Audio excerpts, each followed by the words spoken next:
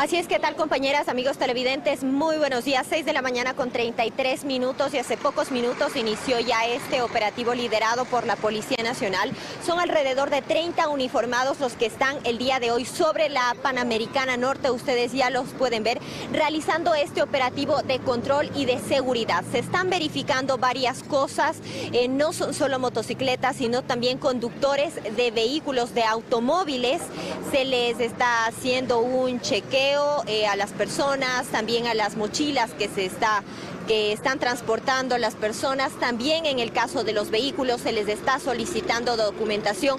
Esto a propósito del fortalecimiento de los operativos de seguridad que se han dispuesto tras el decreto eh, anunciado por el gobierno, el decreto 111. Estamos a esta hora con el jefe del distrito Calderón. Muy buenos días, comandante. Coméntenos eh, cómo se desarrolla esta hora ya este operativo.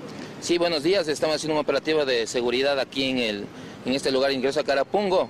El objetivo es el control de motocicletas, vehículos, personas para evitar el transporte de material explosivo, armas, eh, con esta, de esta manera dar cumplimiento a las disposiciones gubernamentales, evitar que estos grupos terroristas atenten con, en este caso, estos lugares estratégicos, tenemos gasolineras, eh, puntos de donde toman los, eh, los, buses las personas, son paradas de buses y además hay un centro comercial, es un lugar estratégico que puede ser utilizado por estas personas para atentar por la seguridad de ellas mismas. Precisamente esta zona también es una de las vías de ingreso y salida de la ciudad de Quito. El ingreso norte, ustedes pueden observar, esta es una zona de alto tránsito también vehicular. Así es, es un sector donde ingresan los vehículos.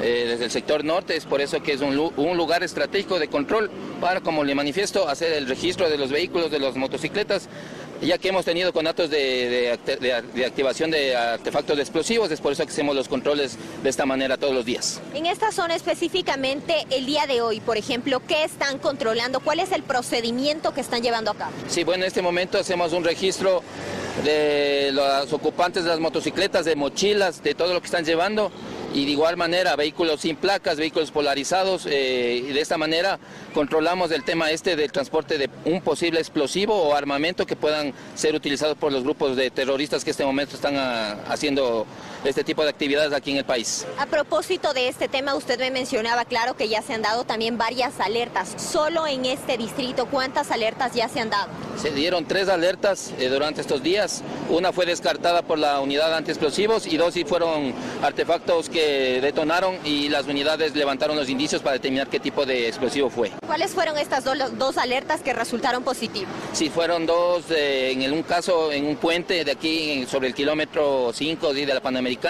eh, que detonó sobre el puente peatonal afectando en, eh, una forma mínima la estructura y el otro igual en un puente peatonal en Gualo el día miércoles igual que detonó un artefacto explosivo. ¿Cuáles serían quizás las recomendaciones también para las personas que, bueno, están sin duda muy asustadas bueno, eh, que confíen en la Policía Nacional, que inmediatamente realicen las llamadas al ECU 911 en caso de cualquier situación sospechosa, vehículo, motocicleta, persona, para que nosotros inmediatamente intervengamos con nuestras unidades especiales y de investigación e inteligencia. Muchísimas gracias. Vamos en este momento a acercarnos a donde uno de los ciudadanos eh, que ha sido detenido eh, aquí para que se realice la revisión respectiva. Amigo, muy buenos días. Estamos en vivo para Teleamazonas. Coméntenos cómo le parecen estos operativos de la Policía Nacional. Excelente, excelente, porque nos tienen más seguros y, y con la situación que estaba pasando en el país, sí me parece muy bien.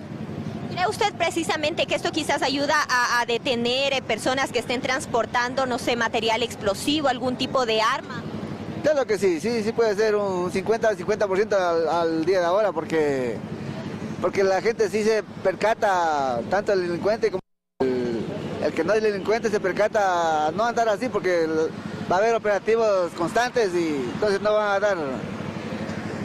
Así es. Así es, vecino, muchísimas gracias y bueno, ustedes ya lo han escuchado, reiterarles, son alrededor de 30 uniformados los que a esta hora participan de este operativo liderado por la Policía Nacional que se realiza en el ingreso a Carapungo sobre la Panamericana Norte, aquí en el extremo norte de la ciudad. Esa es la información que les tenemos a esta hora, cuando son las 6 de la mañana con 38 minutos, nos vamos a un corte comercial, pero ya regresamos con más noticias. Buenos días.